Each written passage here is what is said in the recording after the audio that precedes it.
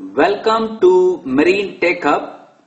Today I would like to explain you some of the troubleshooting with respect to centrifugal pump because most of the junior engineers or the trainee engineers uh, they have to know the basics. So if you see the first condition uh, if the pump fails to deliver water so in that case uh, make sure the pump is primed huh? That is one of the case.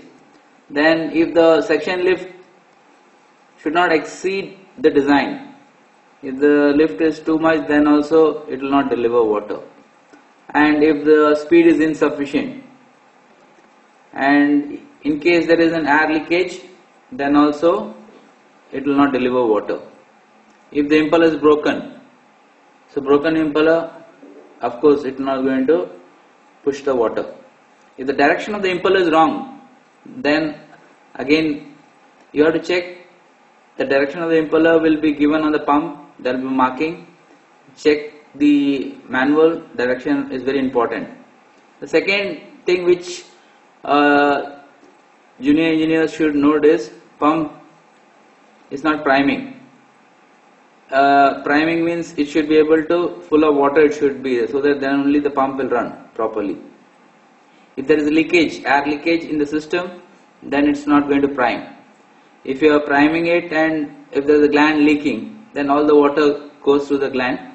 So in such case, you need to tighten the glands or change the gland with new one.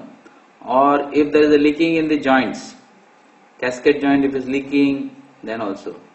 Then priming device itself is faulty, then you have to check that Now regarding building up of pressure, pump is running but it's not building up pressure. So in that case what you do is prime the pump, that is one case. Check if the air cock is open. If air is cock is open of the pump then again it will not going to build up the pressure.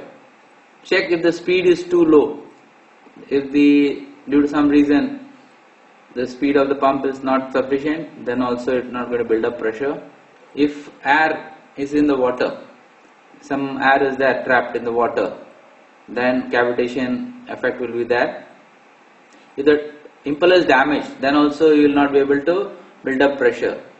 So if the wear ring is owned out, then there will be short circuiting, then it's not going to build up pressure, then you have to change the wear ring with the new one. Check the clearance and change. Or if there is some mechanical defects also there will be a problem, then also it's not build up pressure. Fourth condition is insufficient capacity. If the pump capacity is less, you want to pump more, then then in that case the total dynamic head is larger than the rated one. Then also we have problem. the suction lift is too high, the pump is designed for a particular suction lift, but you have to see how much it's going to lift.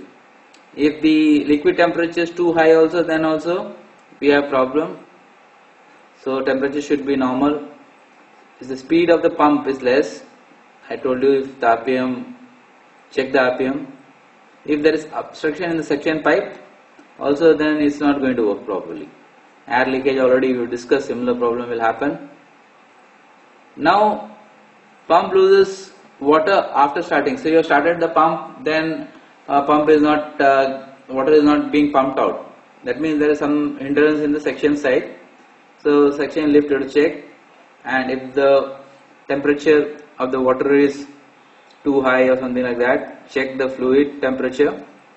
If there is leakage in the suction line or if there is uh, if the, there is a foot valve the strainer stuck and uh, filter is dirty then also you will lose the suction there.